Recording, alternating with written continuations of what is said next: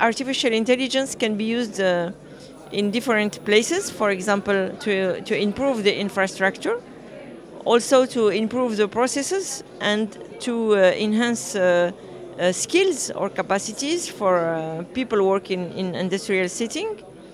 And uh, I think that, um, for example, AI can be used to personalize the, the services provided by industry, but also to optimize the processes within the industrial setting.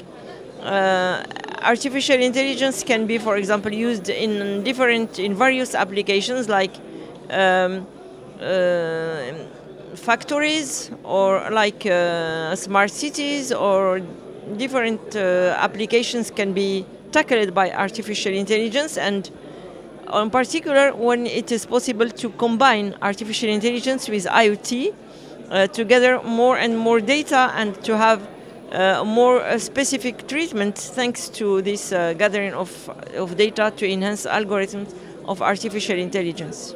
In fact, artificial intelligence can be used uh, in, in various settings and in different domains.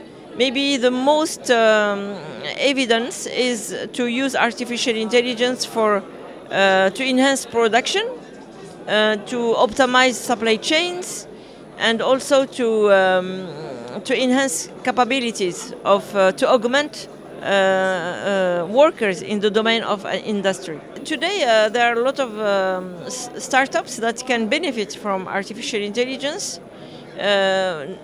For example, in health, uh, there are a lot of uh, business uh, that can be developed in the domain of e-health or um, uh, how to diagnosis, for example, and uh, detection. Uh, also, financial startups can be th- that focus on finance. On finance can be can use AI for intrusion detection or these kind of things. Also, um, well, it depends on the startups and their domains of applications. Uh, they the domain they focus on, but in general, they can they can take benefit from artificial intelligence and uh, when it is possible to get data and to improve the, the, the processing uh, thanks to algorithms and data in the same.